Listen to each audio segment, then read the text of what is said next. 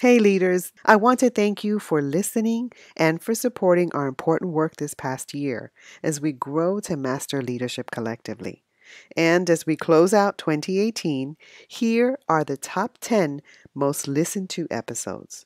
We look forward to continuing to add value in 2019.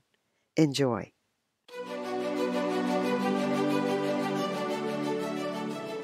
Hey, this is John Lee Dumas of EO Fire, and welcome to Master Leadership. Great leaders ask great questions, and this podcast takes you on a journey to master leadership with questions that matter to leaders who matter with your host, Lily Sinabria. Hi, this is Lily, and today we have the honor of having Dr. Toby Travis with us. The organizational and leadership experience of Toby Travis includes working in senior leadership roles of several international schools, nonprofit ministries, and corporations. As a trainer and speaker, Dr. Travis has assisted schools and universities throughout the U.S. and in many other countries. Toby's formal education includes a bachelor's degree in theology, a master's degree in religious education, and a doctorate in school administration. Within school settings, he has experience as a classroom teacher, professional development coordinator, middle and high school principal, academic director, and the head of schools. He is the creator and presenter of the research based TrustEd School Leadership Training Modules, and the author of the TrustEd School Leader blog at www.trustedschoolleader.com. Welcome, Dr. Toby Travis. How are you? I'm great. Thank you.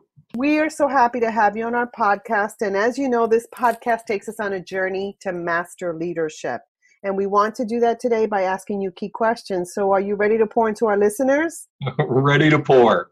Awesome. Toby, can you tell us a bit about your path to leadership and what you're doing now? Well, it's been a, a, long and varied path. I've worn many hats over the years and really came to education as really almost a second career. So I've got a little bit of background in entertainment, I've got a background in Christian missions, I've got a background in motivational speaking and uh, in training. But really, the common thread, though, through all of that has been education. I've always been passionate about learning and about helping others in their growth and development as well.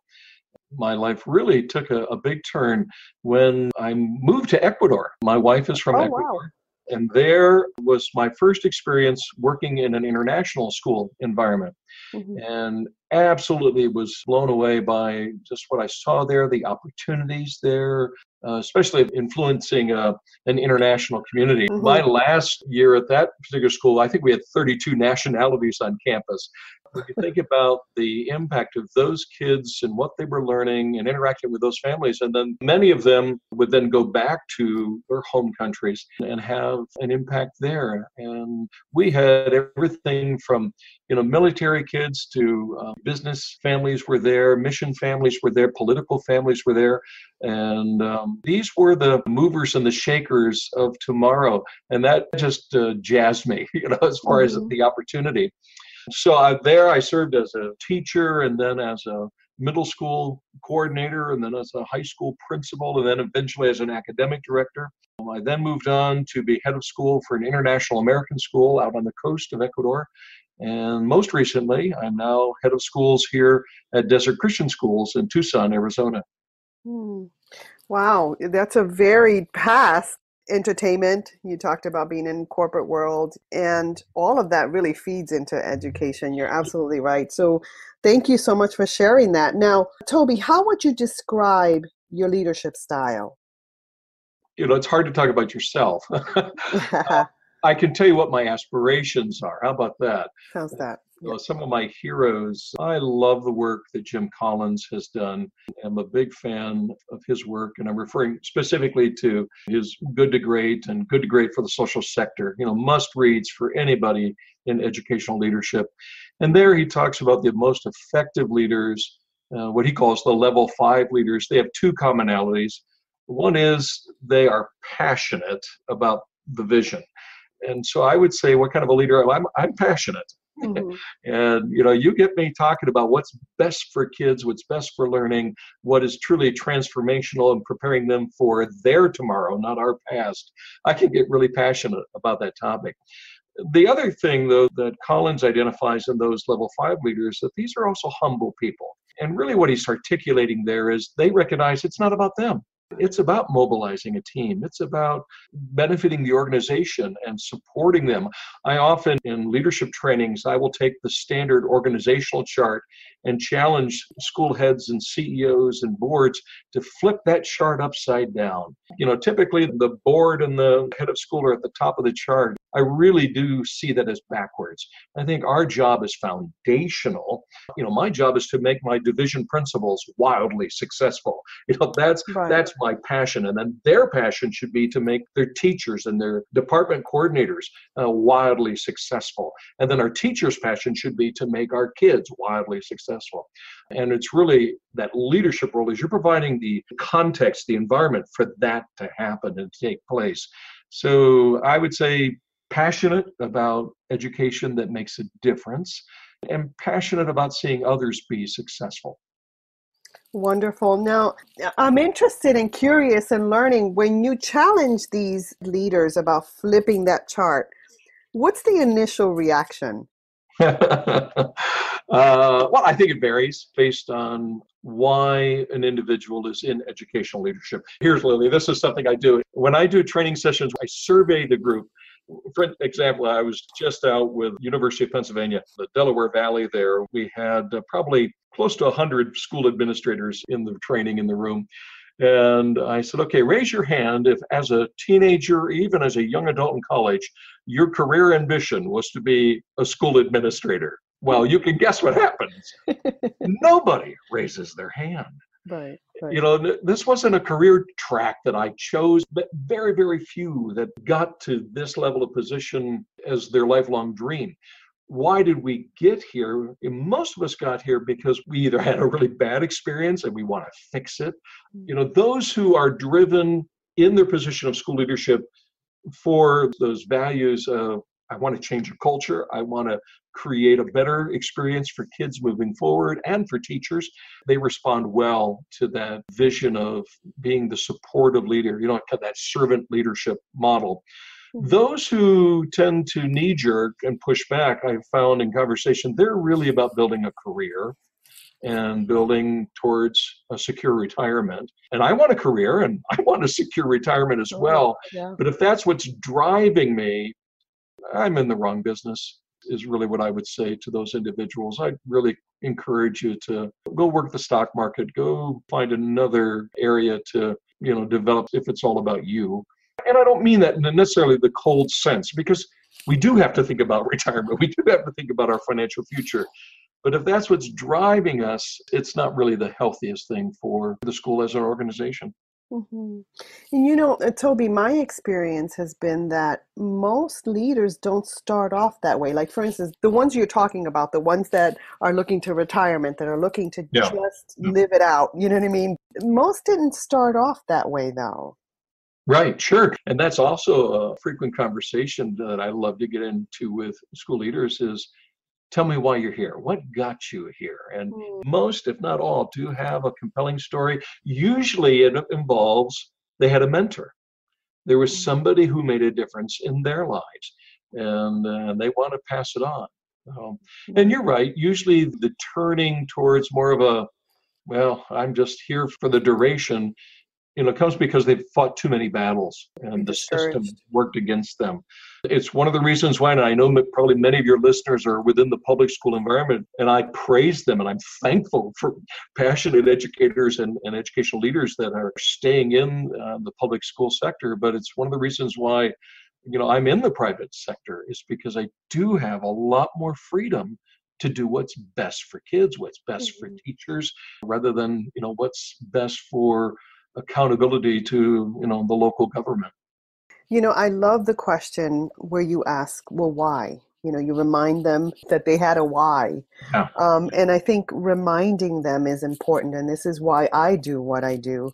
Hopefully, these conversations can trigger that again and can fan into flame that passion that they once had. So I really thank you for that. Now, Toby, which quote or quotes about leadership speak to you and why? There's probably a number of them. I think one of the best reads and best leadership books in the last 15 years is The Trust Edge by David Horsager. Now, it's not written for educational leaders. It is a business book, you know, very much like the same audience probably that Jim Collins speaks to. But Horsager talks about trust is not a soft skill. And I really resonate with that because my background and work and research has been in that area of trusted leadership within schools. And you know what you see is it is the number one indicator of successful schools, no matter how you measure it whether we're talking about student levels of achievement, whether we're talking about engagement in performance based activities or extracurricular, whether we're talking about a financial bottom line or, or, community engagement, when there's high levels of trust, those things are all present. And it doesn't just happen. You know, some hmm. people write off trust as the, well, either you've got it or you don't. And the best leaders know that's not true. It's an intentional competency that you develop and you create you know a pathway for that to happen. And that's why again i resonate with horsager's trust is not a soft skill. You know it's something we need to be very very intentional about. So another quote would come back to collins uh, where he talks about priorities. He says if you have more than two or three priorities you have none Right, right. And that really resonates with me because, you know, as a school administrator, you're juggling so many things. There's so many stakeholders from all across the spectrum, you know, are you know, wanting their needs met, and rightfully so. But you really, a, a big part of the work is identifying okay, what are our current priorities? What can we do now? And and staying focused. So I really love you know what he talks about. And you referenced the why. Another mm-hmm. favorite author is Simon Sinek. Start with why, and it's true. If you can identify the why, you get engagement. You know, we see this with students all the time. We know as educators how important it is to connect the learning to real life. You know, relevance has such an important element. It's because the burning question in every kid's head is why? You know, right. why do I need to do this? And the same thing is true with school leadership.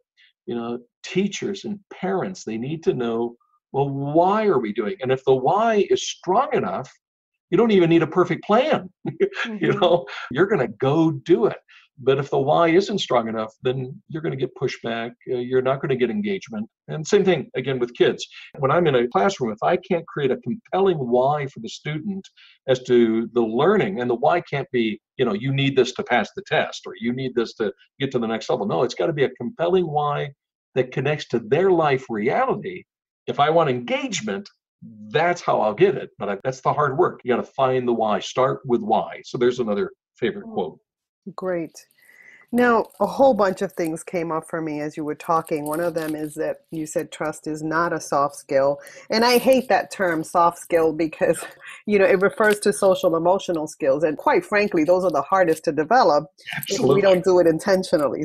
So, one of the reasons I connected with you or I was attracted to your work and what you're doing is that you lay a foundation and you believe that trust is incredibly important in educational leadership, in leadership, period. Can you tell us a bit about what you do in that work? Well, as I said earlier, it is the number one indicator of a healthy school, and it must be intentionally addressed.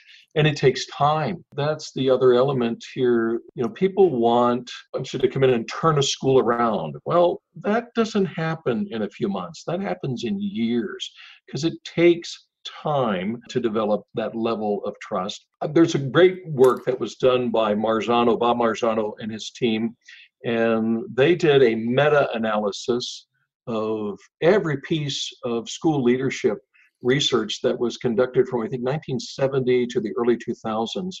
So it took them a long time to do this meta analysis, but out of that appeared 21 key responsibilities of school leaders that had a direct correlation to student achievement levels. And what I saw in my work, and every one of them, is an issue of trust. Wow. Uh, that if you don't have the foundation of trust within those responsibilities, it's not going to happen. It's going to fall apart. Mm-hmm. And so, what I talk about in the, the, trainings that I do, and what I've labeled Trust Ed, actually, a, a friend of mine labeled it that for me. He says, You're doing Trust Ed.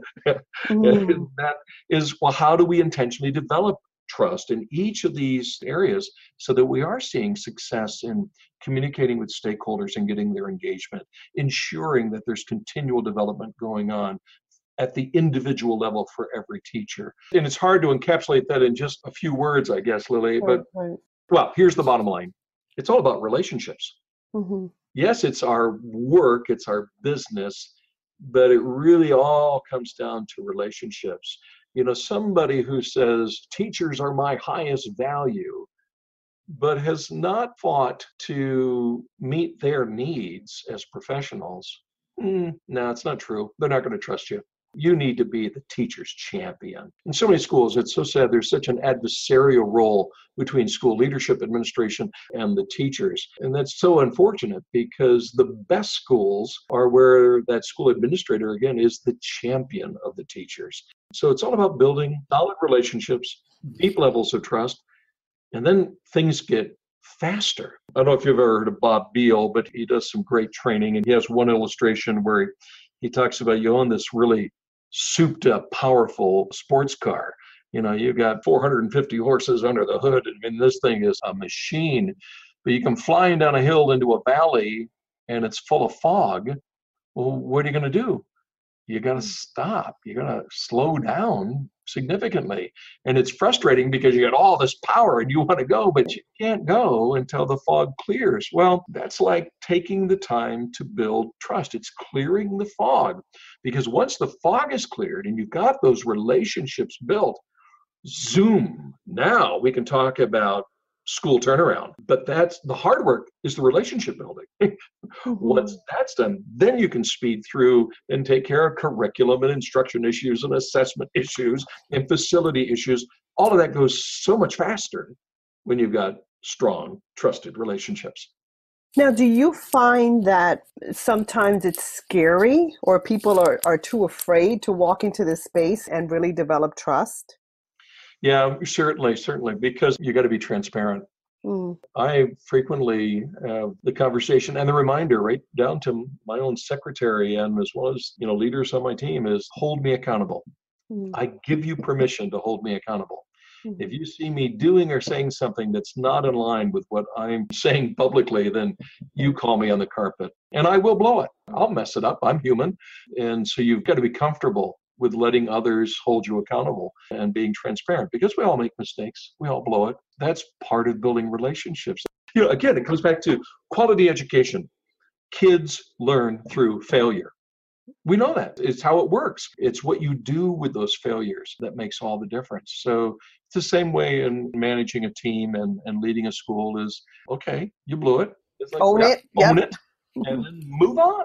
And right. actually that will drive the trust level deeper. If you own it, get transparent about it, and move on, actually, that's an element for building trust. Toby, this is incredibly important work. Now, if our listeners wanted to learn more about this and the work you do, what's the best way to connect with you?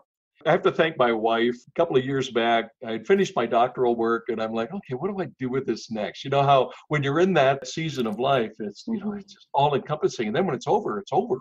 mm-hmm. Okay, what do we do now? And she goes, oh, you ought to write a blog. And I read blogs over the years, but I'm like, eh, me really? And I said, but my audience is so small. It doesn't matter. She said, so I started this blog called TrustedSchoolLeader.com. I mean, my audience is school administrators, you know, so this is a pretty small, narrow group. And because a lot of my work has been in the Christian school market, you know, even some of it is specifically for, you know, Christian school administrators. So, and for some of those in an international setting, so the target gets really small. But the principles are broad, and I've been surprised. Uh, I think, you know, thousands and of readers. And it's like, wow, how did that happen? And I mm. want to clarify too, Lily, as people listen, I am a full time head of school here. You know, this isn't a season of life where I'm looking to be a traveling consultant. No, I do accept about a half a dozen opportunities a year to go out and provide trainings and, and all of that. So I'm not selling anything here, but it's a resource that some folks have resonated with and are finding valuable. I developed an assessment piece that you can use as a self assessment or as a team assessment on trust, and then provide and build a trajectory forward on professional development, either as an individual or as a team. How do I then intentionally develop that trust? I created a 10 module leadership training program that is built on, first of all, looking at again, just the critical nature of trust. But then Dave Horsager, who I mentioned, who wrote The Trust Edge, is a good friend of mine. Mm-hmm. And he had created, through his research, a model of eight pillars of trust that must be in place for trust to exist. You have to have all eight pillars. And then in my doctoral work, I looked at okay, well, what does it look like in a school setting? And really a combination of Marzano's work and Horsager's work, I was able then to kind of blend together and find the connecting points to give us an intentional path to build those eight pillars of trust, again, in the specific task and responsibility of school admin. So that's what Trust Ed is. And so when I do go out and work with schools or work with school administrators, I'm basically helping them assess where are they at as far as their level of trust and then we identify what are the weaknesses according to those, those various pillars and then hopefully craft for them an intentional strategy to address those on their team or on their campus. And so that's what Trust Ed is all about. And they can find me again at trustedschoolleader.com to help anyone that I can. I subscribe to your blog, so I get a lot of these, and so full of wonderful content. And I was just looking at the first module about a leader who trusts, looks, initiates, stays focused, takes the time, empathizes, is mindful of their nonverbal mm. communication. I mean, just in a few minutes, I got all that. So it's so valuable. Thank you so much for all you do. Oh, thank you. Hey, leaders, stay tuned for the rest of the interview following this brief message. If you haven't downloaded your copy of the Master Leadership Journal, go to masterleadership.org forward slash MLJ to get instant access and begin growing your leadership with questions that have been curated by top level leaders. I've also included some cool extras for you at masterleadership.org forward slash MLJ. Now, Toby, what type of leader are you inspired by and why? I think really what we've already talked about, but I think of several individuals that I've had the opportunity of working with over the years. And, you know, these are leaders who really are mission focused. As we talked about earlier, they are passionate about the mission. It's not just a job, there's more to life than just going to the office and beating it out. They're on a mission to change the world in their part of the world. And that's the kind of leader I like to um, attach myself to. I just finished reading Jimmy Collins' book, which is called Creative Followership. If you're not familiar with Jimmy, he was Truett Cathy's successor at Chick fil A. Mm. And he talks about in his book and it's basically his life story, but he's talking about how he chose his bosses. Maybe he's got one chapter. Oh, I love that. Boss. And how important it is for all of us to identify, yeah, who do we want to follow? Hmm. And, and who and do I, we want to work for or work yeah, with? Yeah, yeah, because it really does shape who we become and awesome. uh, we all need mentors mm-hmm. and, and, that never ends and so uh, you have to choose those mentors wisely because you will largely become those who you are a protege to that's right thank you so much for that now what's the best advice you've ever received oh wow yeah, best advice was I think on priorities because I, as you can probably tell, I do tend to be a bit passionate. Life is short. The most important things are people, you know, love people, like things, and that keeping perspective. Although I love my job, I love our school, and I love what I do and helping other schools and other educators, it's not the center of the world for me. Is it my passion? Yes. But the center of the world is those who are closest to me. It's my wife, it's my daughter, it's friends, it's family, don't get that out of perspective. That needs to remain as highest priority, or you're going to end up life very lonely and miserable, even though you may end up very successful in the school world. And that great wisdom in that, and probably the best advice I've ever received, and mm-hmm. pass it on frequently to others, even my own staff. You know, I tell them, hey, we're on a journey together here that I hope is transformational in the lives of our kids and in our community. But number one, take care of yourself, take care of your relationships. That's really what's most important. You know, I love that as a leader, you're also cognizant of that in the people you lead, and you care enough to tell them that, you know, to remember the important thing. What's the important thing? What's the priority? So I appreciate that. Now, I'm assuming you've built many teams, you've been a part of many teams. What does it mean to you to have a good team, and how do you build or sustain one? It comes back to mission, values, and priorities. First of all, you got to make sure everybody is you know going the same direction as collins says we're all in the same bus mm-hmm. and that's really important and you got to spend time making sure you know we're articulating that well because often we'll use similar jargon but mean very different things. So you have to do the hard work of really unpacking where are we going? You know what's our direction? And ensuring that everybody really is uh, moving in the same direction. You're sailing that ship in a direction that everyone is on board with Second is values, that you've got agreed on norms of how we're going to do life together as a team. I challenge, you know, all of my uh, teams and their teams that, you know, the first meeting you do of every year, you're talking about norms. You're talking about, okay, how do we agree to do life together? You know, and we talk about our values and that we're going to do life together in a certain way that's respectful of all and in a way that is both professional and personal and understanding. And then again, it comes back to priorities. And the most effective teams have very clear outcomes. I'm a big believer in ad hoc committees and task force. I'm not a big fan of standing committees because I think they turn into power centers and then they lose their focus of what they were organized to do, and the focus ends up being maintaining power. So I'm a right. big believer in, again, ad hoc committees, put a task force together to solve a problem, solve it, and then dissolve the team and move on. Those are probably the three critical elements for me on team building is shared mission, shared values, shared priorities. Let's get it done. Great. Thank you. Now, can you tell us about a challenge that you've experienced and how it has shaped your life? I think about the transition of coming into formal education. Again, you know, I was in the corporate world, mission world, entertainment world, all those industries. And at the same time, I was doing trainings and I would do seminars and I would do guest speaking and that sort of thing, but not literally in a classroom setting. And when I made that transition into the full time classroom setting, even though yeah, I had a master's in education, it was a wake up call. It was like, oh my word. You know, Nobody teaches like those kids, right? yeah. Yeah, it's a whole different reality. And I, I would say very openly, I, I was a miserable failure. That first year of teaching, oh, oh my goodness. But I've also I've gone on to counsel others. Never make a career decision in your first year. You know, it's right you got to plow through that. But I guess where I'm going with this is again that willingness reach out to others, find mentors, look to others for their support, and jump in and learn.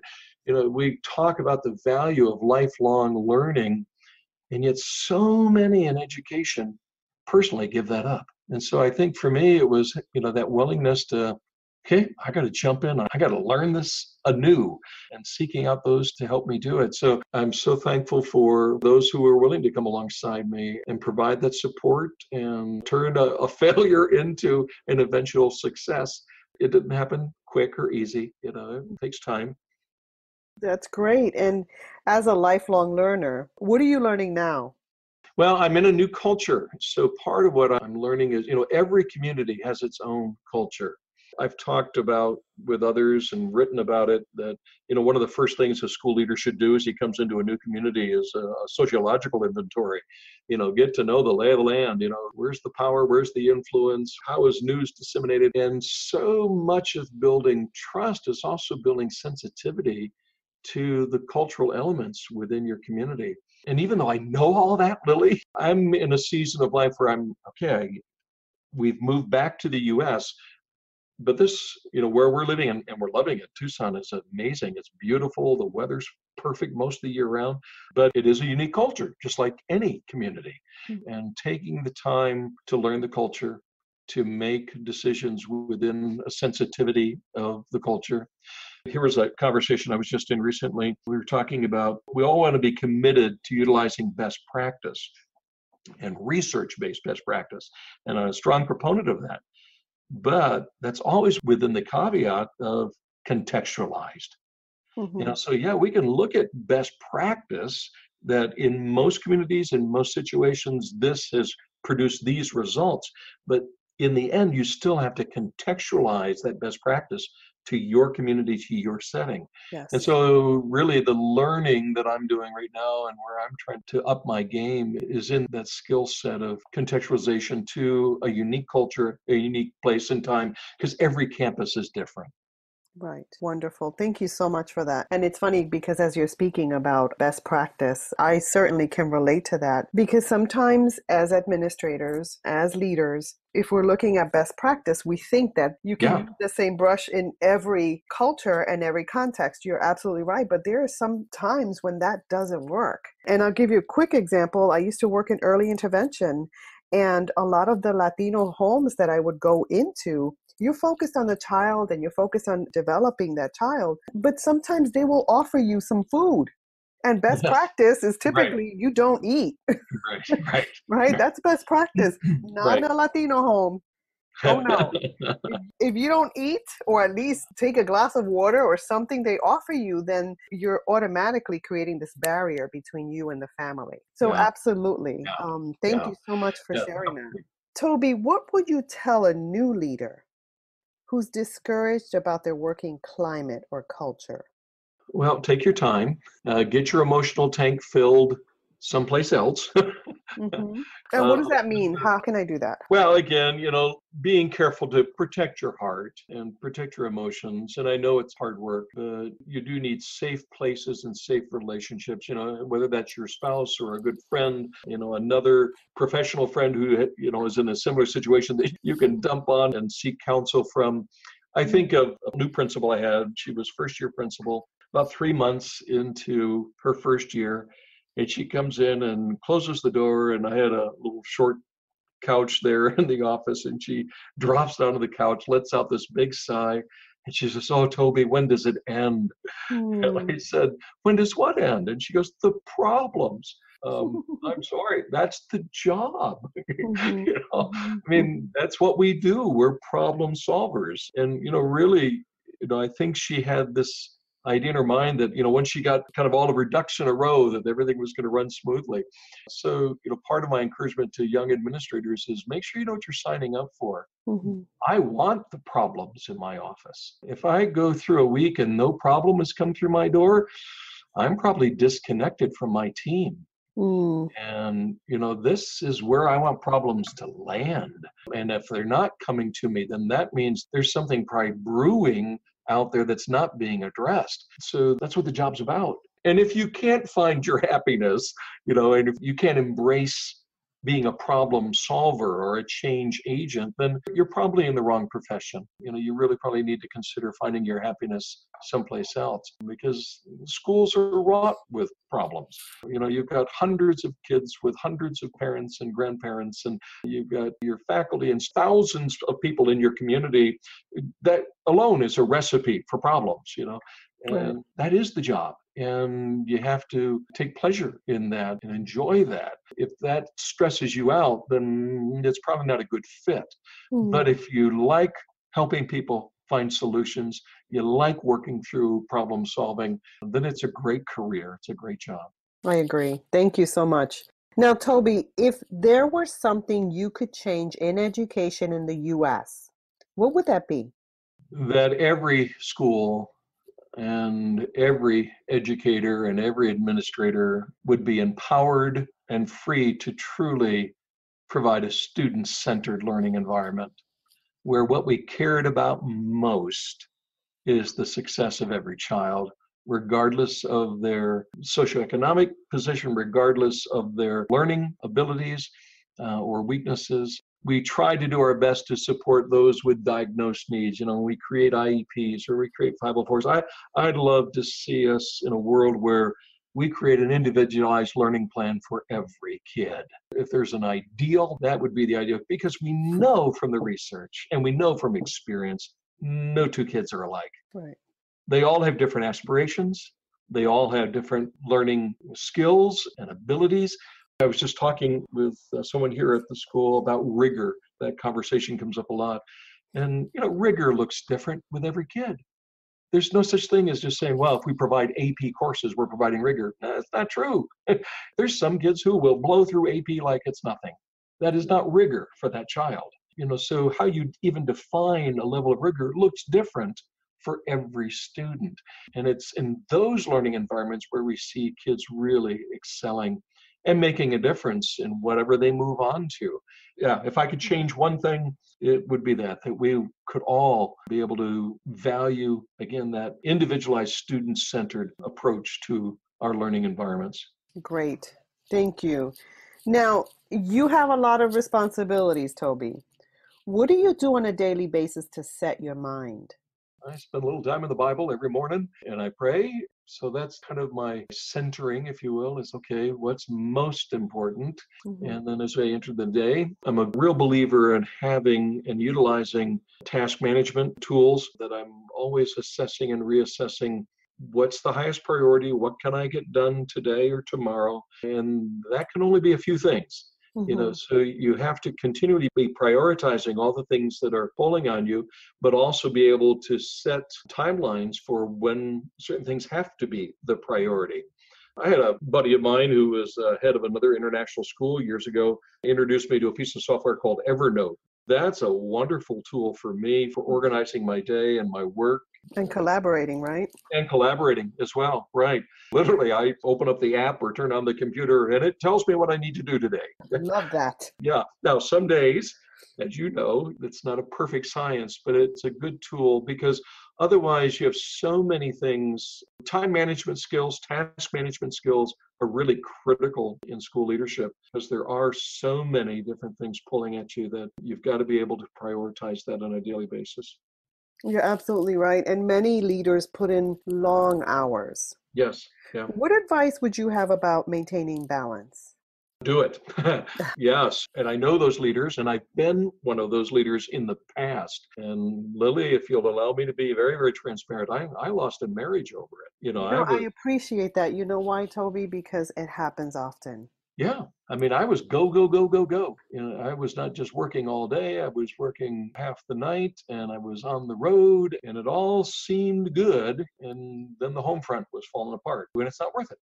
Mm-hmm. So I adopted a saying, in fact, it was over my desk for a few years you do what you can do. My wife and I, we adopted a little girl while we were in Ecuador and so I'm being a dad again, oh. and um, and I have two grown daughters, beautiful women, and now we've got a six-year-old. wow. And I tell myself, okay, I have got to go home at this hour and spend that time in relationship. Those years go by so fast, and it's so critical for her development and her life. She needs a dad there. And yep, I've got 450 kids on this campus, but I don't need to be dad to all of them. I'm their school headmaster, and that's my role. Right. You know, so yeah, it is keeping balance. And of course, you know, in schools, you need to have visibility as well. So there are lots of school events and that sort of thing. I look for ways to get my family to participate in those as well. But I also know the value of building community outside of the school. You do need a circle of friends and you know whether you're doing that through a club or through a church to build a community outside of your professional community really important for emotional health and well-being so i encourage that as well and i appreciate that because that is so needed. As leaders people are looking to us to see how we lead our lives not just at work but our families. Yes. And so the way we go is the way others may go. And so thank you so much for that toby. Yeah, now if you were to go back in time what advice would you give the younger you about leadership? Patience.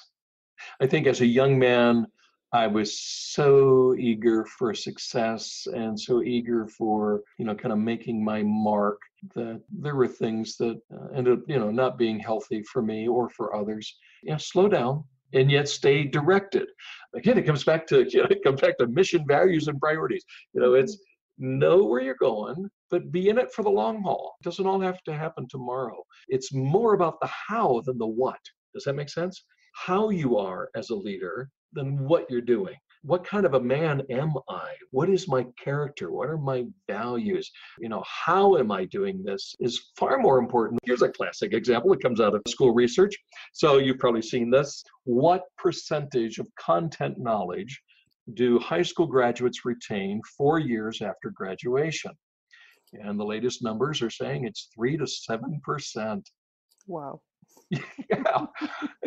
you know, we cram all this content down, oh you know, kids' throats and in their minds. What do they retain? Less than 10% of it. But what do they retain? And when I interview anybody and I say, okay, tell me about a, a school memory, they remember people and they remember how those people were.